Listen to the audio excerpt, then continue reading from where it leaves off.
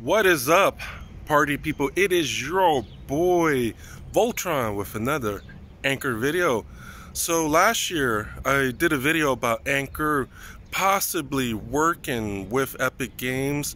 You know, I had seen some news about Epic Games working with Lego, and I started to get a feeling that they may be working with Ankr, but you know, a year it took a year later to find out that hey, Epic Games is working with Lego, and I said, let me look a little more.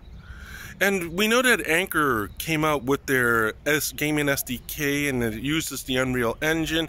And the Unreal Engine was something that belongs to Epic Games. They're the ones who, who created the engine.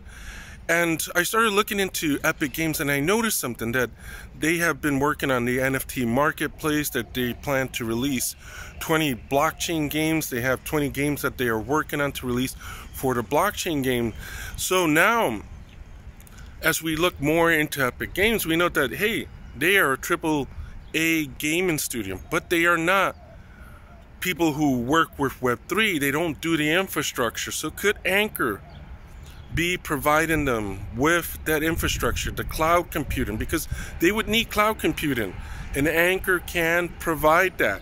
So, is Ankr working with Epic Games? It's starting to look like they are. Anyway, guys, until next time, peace out, safe investing.